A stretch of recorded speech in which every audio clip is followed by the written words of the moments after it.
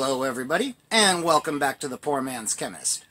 In this video, we are going to be making a simple but cool lanthanide complex, um, neodymium acetyl acetonate. You have no idea how many takes it took to get that one right.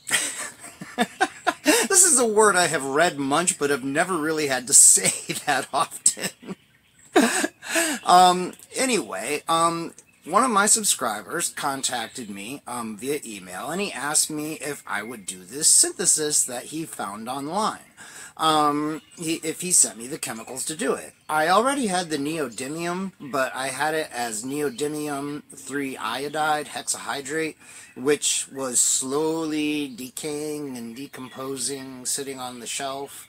Um, it started out as this cool orange, um, but it had turned black. So I dropped all the iodine out of it with um, hydrochloric acid and hydrogen peroxide, filtered that off and recovered all of that.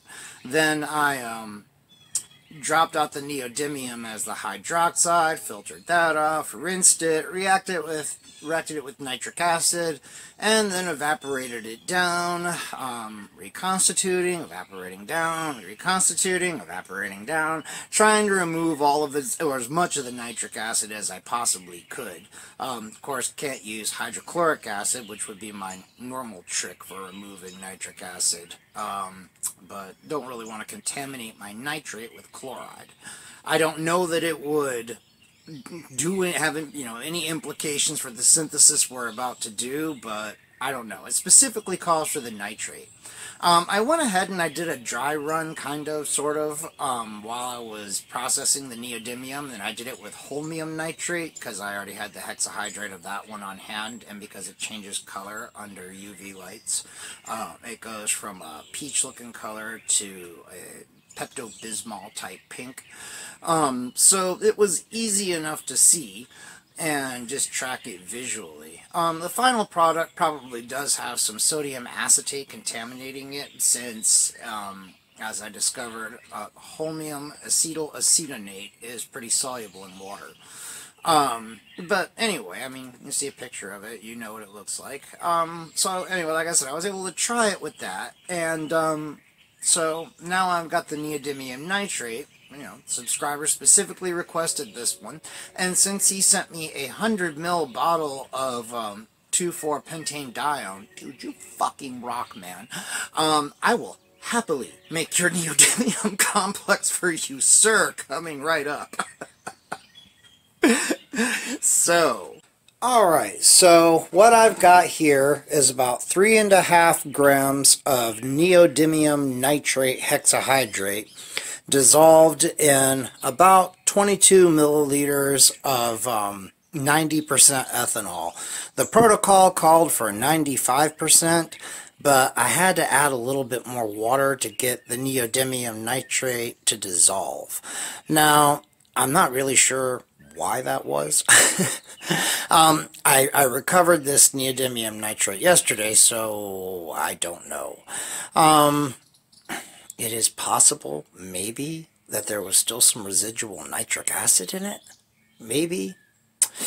I don't know. We're going to go ahead and go with things, though, and, and see how it turns out. So, um, the protocol calls for us to add 3 milliliters of 2,4-pentane dione, to this and then to bring it to a gentle reflux for 30 minutes. So, alright, we'll try this angle and see how this works. Um, alright. Okay.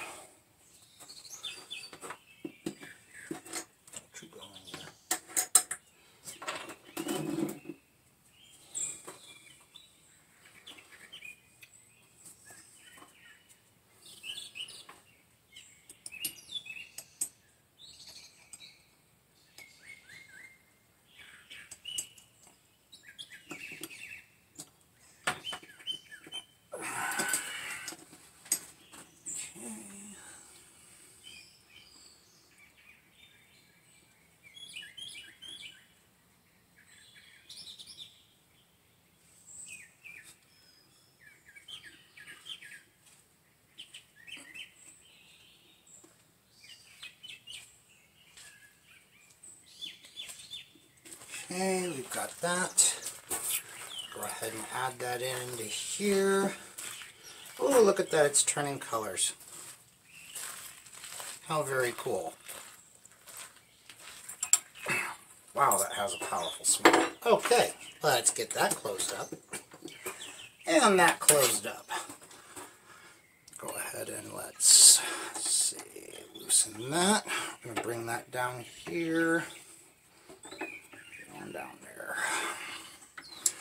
And I just have a Vigreux column on here because I had to put something on this to reflux, but I don't think it's going to require any kind of, you know, liquid cooling in order to keep this from getting out of control. So we're just going to leave this to reflux now and I will wrap this up in foil and I'll come back in 30 minutes. Alright everyone, our mixture has been at a gentle reflux for 30 minutes. No visible change. Now we are supposed to combine it with a solution of sodium acetate trihydrate, which I've got right here. And then we are supposed to heat it to 70C for about 20 minutes.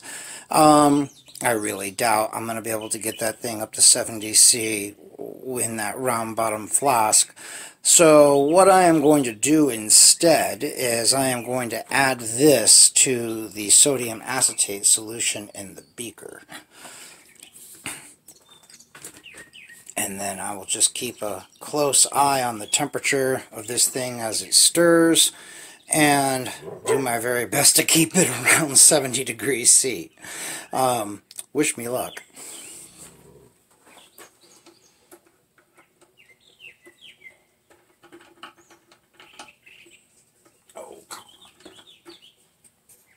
Hey, Lucky. Alright. Man, this stuff has a smell to it, boy. It's not bad. It's not great. Kind of weirdly fruity. Alright, here we go.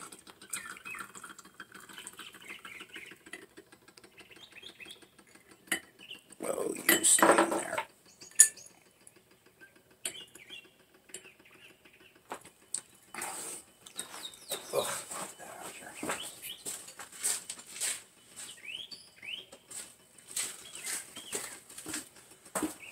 All right.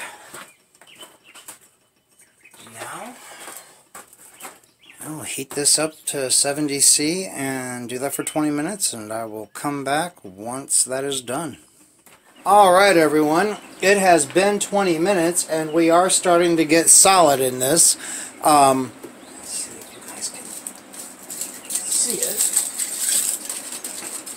So it has gotten cloudy on us.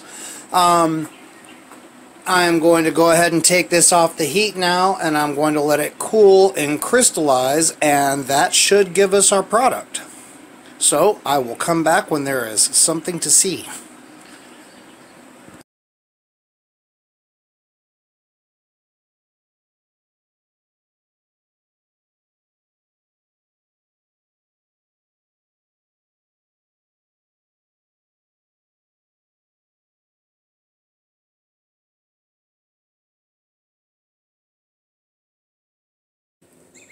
Alright everyone, here is our product. You can see we got some crystals up here. Didn't really get any crystals on the sides. But what I am going to do now is um, filter this and we will see what it looks like.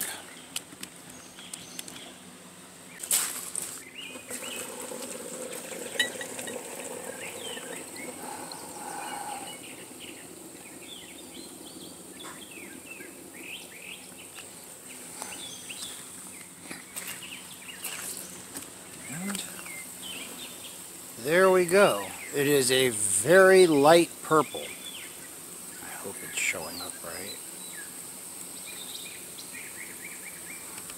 I'm just going to let it keep vacuum filtering here for a little bit and then I'll pull it off of here and we'll take a look at it and wrap this up. Alright everyone, there is our final product, neodymium acetyl acetonate. So that was fun. That was very cool. Um, when I was reading, I came across a thorium acetylacetonate. You know we're going to have to try that one next.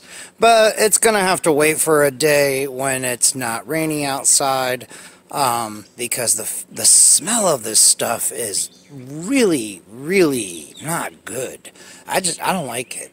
Um, I mean, it comes with a little warning on the side of the bottle, of course. That didn't really tell you much. But, um, you know, after having experienced it, yeah, yeah. It's one of those ones I think I'm going to reserve for exclusively using when I can be out here to do it.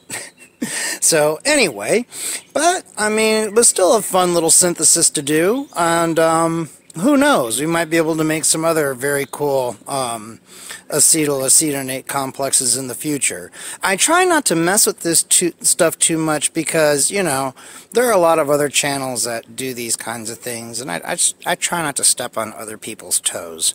Um, you know, I try to do my own thing. But anyway, like I said, this was a special request. So, um, if you liked that video, give it a thumbs up. If you didn't like it, give it a thumbs down. Subscribe, comment, share the video, and until the next one, y'all, I will see you later.